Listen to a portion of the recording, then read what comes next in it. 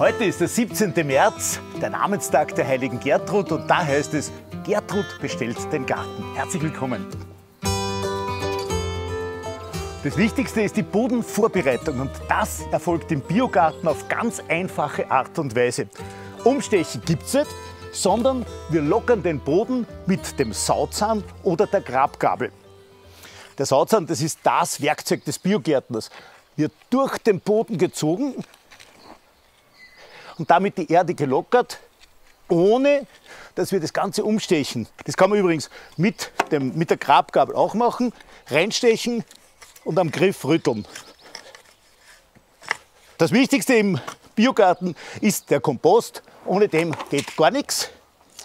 Das ist mein Kompost aus dem eigenen Garten und man sagt, 5 bis 8 Liter pro Quadratmeter kommen auf die Beete. Und der Kompost der wird noch ergänzt mit organischem Dünger, weil da kommen viele Pflanzen her, die viele Nährstoffe brauchen. Das sind zum Beispiel Hornspäne oder Schafwollpellets. Dazu kommt ein Bodenaktivator. Da sind alle Mineralien drinnen, die die Pflanzen brauchen.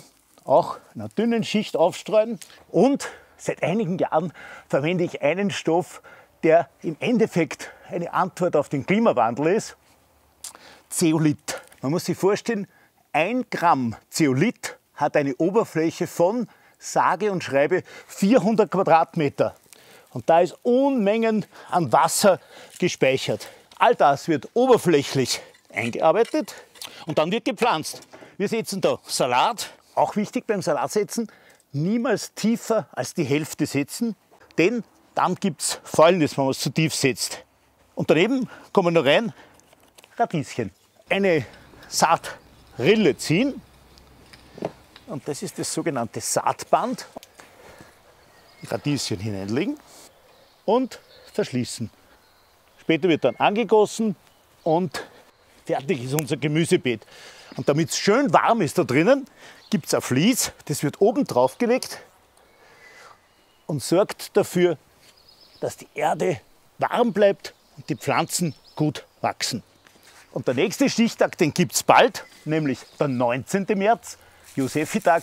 Und da wird der Zwiebel gesteckt. Viel Spaß beim Garteln.